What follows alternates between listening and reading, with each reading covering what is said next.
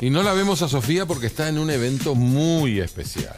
Un estreno. Estamos de estreno, se estrena Jaque Mate y allí está Sofi, por supuesto, con protagonista. Desde ya, ¿cómo estás, Sofi? Hola. Hola Caro, hola Luis, estoy pero mira con este parte de este elenco de lujo porque bien lo dijeron ustedes, este jueves llega a los cines de todo el país, me miran expectantes ellos, llega Jaque Mate, recordemos esta película de acción que lo tiene Adrián Suar, que lo tiene a José de México, que lo tiene a Maggie desde España, así que esta es parte del elenco, pero es una producción internacional que pisa fuerte y ¿cómo se preparan ustedes? Muy, primero, estamos muy contentos ya desde anoche que los volví a ver porque ellos estaban filmando. Maggie estaba en España, estaba en Londres, José Eduardo Derbez estaba en México, vinieron, que los trajo Amazon para, para el estreno internacional de esta película, muy contentos, los adoro a ellos y la gente se va a encontrar este jueves en todos los cines, que es muy importante, con una película de acción, se van a divertir, se van a reír y bueno, ¿qué más? ¿Y ustedes cómo los trata la Argentina acá? Bueno, nos trató, a mí me trató muy bien, creo que a ti también. ¿no? A mí también. Por Fue- eso estamos aquí de vuelta. Exacto, si no, no regresamos. No, no, no. No, no, regresamos con mucho amor, con mucho cariño, nos trataron muy bonito, no, yo me enamoré eh, de todo aquí. Eh, Adrián, bueno, fue excelente con nosotros, nos recomendaba buenos lugares, caros los lugares, pero muy buenos. Muchas gracias. Sí, igual, realmente fue una experiencia que estoy deseando repetir. Entonces, como quiero que la, que la gente vaya a ver Jaque Mate y que estemos aquí en un año rodando la segunda. Eso es lo que deseo. Venga. Esa- esa es la En idea. Argentina, en Argentina. Y además veo que pegaron buena onda, ya son casi todos amigos. Benja Madeo, que también es parte de este, de este elenco, me contaba que hasta salieron de fiesta en la noche argentina. ¿Esto es así? ¿Esto es verdad? Esto es verdad, bueno, también Bueno. hemos otras cosas, porque están sacando los trapos sucios. Vamos a ver, también hemos ido al teatro, hemos, ¿sabes? no Hemos solamente. hecho tam- de hecho, ido íbamos a al teatro que. también. También, por supuesto, pero sí, también hemos salido. La noche argentina es muy interesante. Muy, Eh, es di- muy. es Yo he salido un poquito más, ¿no? Un poquito. Ah, ok, bueno. Exageré un poquito. Estamos en vivo para Telenoche, te cuento que te está viendo todo el mundo, ¿eh? Claro, te van a, te van Ah, a ¿no venir a buscar. edita? Ok, Sí, ok. claro. Me preguntó qué programa es, ya le dije, Telenoche. Es el, el noticiero más importante de Argentina. Claro, pero bueno, está bien. Los argentinos somos así, así que bienvenidos. sea. Divertirnos, sí, exacto. Bueno, ¿Qué nos quieren contar de la película? ¿Qué nos pueden adelantar para todos para este jueves que se estrena en, Argen- en toda Argentina? Bueno, es una película, como te decía antes, que la gente se va a encontrar con el típico género de acción que requiere todos los requisitos que uno espera de la película, lo tiene. Y hecho en Argentina, con actores argentinos, con actores internacionales, con el, el equipo técnico, con la dirección de Jorge Nisco eh, y las explosiones. Hace mucho que no lo hacía, la última fue en cine en Comodines. Hace Eso como- se me viene 27 años de comodines, de Sí, ese y- estreno. ¿Qué te pasa a vos? y que todavía estoy vivo, eso es importante. Eso es importante.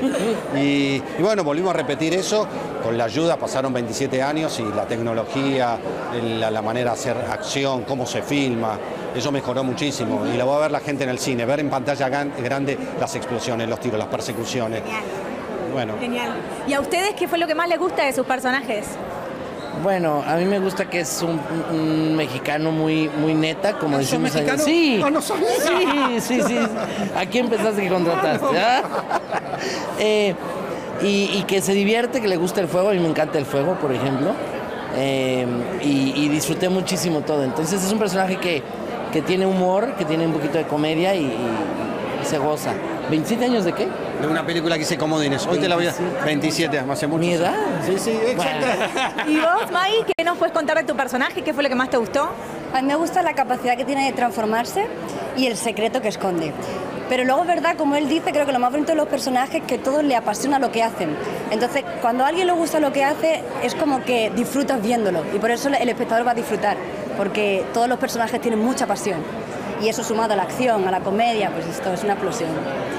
Bueno, Adrián, te saco un segundo de la película también. eh, este fin de semana estuviste en lo de Mirta, en este regreso tan esperado, en donde también fuiste protagonista, bueno, por tus dichos que hasta hoy el propio Javier Milei te contestó, dijo que vos defendías a los privilegiados, entre otras cosas.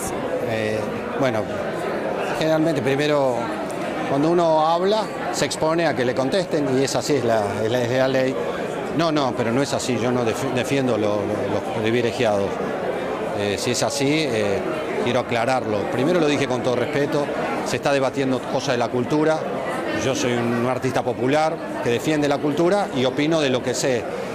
Y los privilegios, no, estoy hablando de, eh, el Instituto Nacional del Teatro, el Fondo Nacional de las Artes, todas situaciones que me parece que, se, que tienen que quedar. Ahora, con respecto al debate de las cosas que están mal, siempre dije que estaba a favor de mejorar lo que estaba mal. Y seguramente hay cosas que no están bien, que hay que mejorarlas. Y en eso sí estoy de acuerdo. Lo que no estoy de acuerdo es que no se pueda dar un debate sanamente y dar una opinión. Y también es falso que las cosas solamente se, se arreglan para un beneficio de pocos porque no es así, porque en el Fondo Nacional de las Artes es un beneficio para la cultura, para mucha gente que está estudiando. Eh, por, por, eso siento que se malinterpretó o lo llevaron para, para decir lo que se quiere decir. Cuando se ponen esos términos, yo quiero que, que, el, que el cine se siga haciendo cine o la gente coma y me quedo sin palabras, ¿quién va a querer que la gente no coma? Yo nunca hablé de eso y si es así, se entendió así, pido mil disculpas porque no quise decir eso. Lo que quise decir es lo que dije que la cultura no se tiene que vaciar, en todo caso se tiene que mejorar y el debate necesita reflexión. Y es un país donde el disenso hay que tolerarlo, tenemos que ser personas, tenemos que ser adultos en ese tipo de cosas. Bueno, te agradezco y felicitaciones por este nuevo proyecto. Muchísimas gracias, estoy muy contento de volver a la acción, de volver a los tiros, más allá de los tiros que me tiraron ayer. Muchas gracias. ¿eh? Hasta luego. Bueno,